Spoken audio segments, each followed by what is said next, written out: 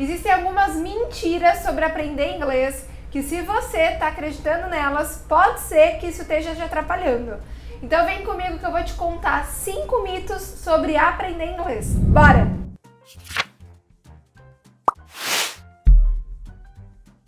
Quando se fala de aprender inglês, o que mais tem é mito. E a gente tem que tomar muito cuidado com isso, porque pode ser que você ouça alguma coisa, isso fique na sua cabeça esteja te atrapalhando a evoluir no processo de aprendizado do idioma. We don't want that.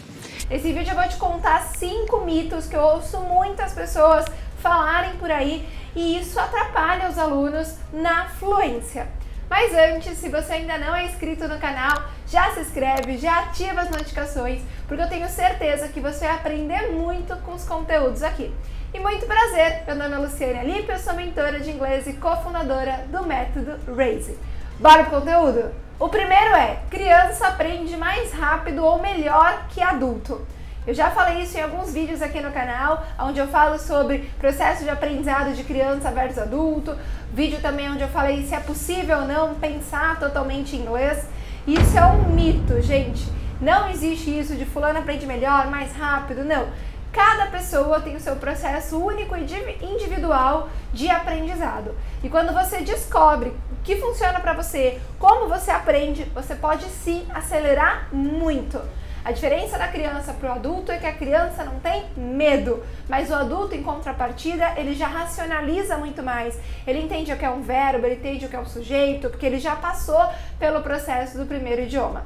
Então, nada de ficar com esse apoio, e ah, é porque eu já tô velho, eu já sou adulto, eu não aprendo tão rápido. Não. Você pode sim aprender muito mais rápido até do que a criança ou do que qualquer pessoa se você focar em entender como você funciona e analisar e refletir toda semana.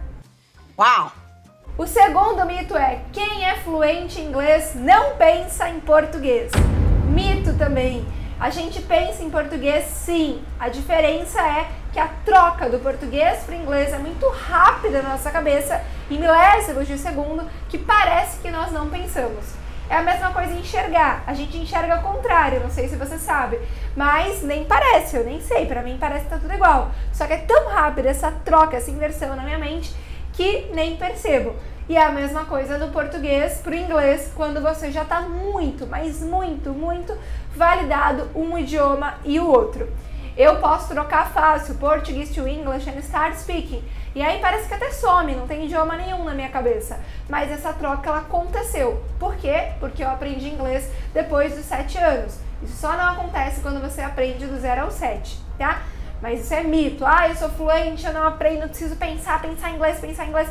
No começo não tem como. Tem vídeo onde eu falei mais sobre isso e dei dicas de como começar a pensar inglês. Vou deixar aqui na descrição. Terceiro mito: o processo é demorado demais para aprender inglês.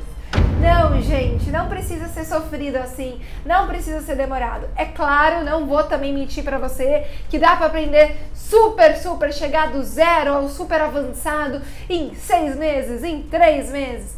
Existe uma capacidade cognitiva da sua mente, você precisa sim ter o fator validação, né, acelerar, mas dar o, tempo para a informação se assentar na sua cabeça. Mas quando você estuda por situação, que é o que a gente defende aqui na Razer, não fica estudando coisa solta, frase solta, define aonde você quer chegar, vai lá, estuda o conteúdo necessário para isso, você pode muito acelerar. Por isso que a gente, mesmo do nível básico, a gente defende que você tem que ser apto a passar por todas as situações dentro do seu objetivo. Então a gente tem a trilha trabalho e a gente tem a trilha viagem. E desde a pessoa que está começando a aprender inglês agora, em um ano ela já consegue fazer todas essas situações, mesmo se ela nunca tinha estudado inglês antes. Claro, situações com vocabulários mais básicos, mas conseguir sobreviver na situação. Então, nada de pensar que eu vou demorar 5, 10 anos. Qual é a situação que você quer vivenciar no inglês? Foca nela, estuda e aí sim você consegue cortar caminho. Nada de aprender coisa que você não vai usar. Quarto, precisa gostar muito de inglês para aprender. Bom, o fator gostar de algo te ajuda na motivação. Porém, gente, vamos ser adulto aqui? Você tem que comer salada, você sabe que é bom. Nem sempre você gosta, mas você tem que comer. Então, ser adulto é fazer o que precisa ser feito, não fazer o que você quer. Ótimo, se você gostar, vai facilitar. Mas se você não gostar, você tem que estudar do mesmo jeito. Porque você tem que gostar do seu objetivo, de querer ganhar mais, de querer viajar e entender as coisas, de querer ouvir uma música e entender. Isso tem que você tem que gostar. Isso tem que chamar a sua atenção. E aí você vai passar pelo processo que precisa passar para chegar aqui. Mas se você não tiver isso aqui bem claro, validado, é que nem esse quadro aqui. Se você não sabe para onde vai, qualquer caminho serve. E aí não adianta. Então não precisa necessariamente gostar. Precisa saber onde quer chegar e fazer o passo 1, 2, 3, 4 para isso. E o quinto mito é: ficar estudando gramática deixa o processo de aprendizado muito lento. Mito. A gramática é o que vai te dar o salto para confiança mas ela tem que ser 20% de todo o processo. Aqui na Raise a gente não acredita em ficar decorando frase pronta. A não ser que a pessoa tenha um mês para o objetivo e vai viajar daqui a um mês. Beleza, aí você decora, não tem o que fazer, né? Mas a gente acredita que quando você estuda 20% ali da gramática, entende como aplicar, entende onde errou e analisa o que fazer para melhorar, você ganha independência, consequentemente você acelera. Porque na hora que você está falando, você vai ter capacidade de formar novas frases. Não somente aquela frase que você ouviu, pronta, decorou e repetiu, decorou e repetiu. Então a gramática ela é um trampolim para você falar mais e acelerar.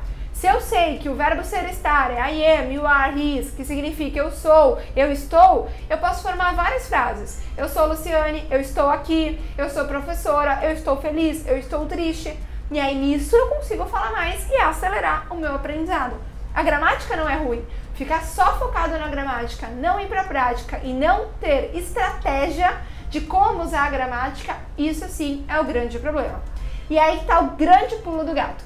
Quando você tem um plano de estudos considerando o seu canal de aprendizado visual, auditivo, sinestésico, quando você sabe as ferramentas que você precisa, quando você sabe estudar gramática, sabe resumir, sabe aplicar, sabe analisar se está certo, se está errado, isso sim é que vai fazer você ter sucesso no processo de aprendizado. Mas isso não é fácil, a gente normalmente não aprende. A gente vai lá, compra um curso, fica seguindo o curso, pronto, acabou, ou livro e pronto. A gente não aprende a aprender. E aí, cada idioma novo que a gente quiser aprender, vai ser todo aquele processo dolorido. How do we do that? Por isso que na Raise a gente tem a mentoria de aceleração da fluência, que é para te ensinar a aprender a aprender. Com esse conhecimento, você não só vai chegar mais rápido na fluência do inglês, mas o espanhol ou qualquer idioma que você queira aprender vai ficar muito mais fácil, porque você já aprendeu a fórmula e aí você só copia e cola a fórmula para qualquer coisa que você queira aprender, inclusive até além de idioma. E se você se interessou, se você quer se conhecer, quer aprender a aprender, quer saber estratégia, quer saber se autoanalisar, quer saber como usar a gramática de maneira estratégica para acelerar, as vagas para essa mentoria estão abertas. O link está aqui na descrição. Clica aqui para que você possa saber mais e ter esse conhecimento que vale ouro. Espero que você tenha gostado desse vídeo, que eu tenha desmistificado aí algumas coisas na sua cabeça, que você possa seguir mais leve a sua jornada de estudos daqui em diante. Se inscreva no canal, ative as notificações e eu te vejo no próximo vídeo. Bye, bye!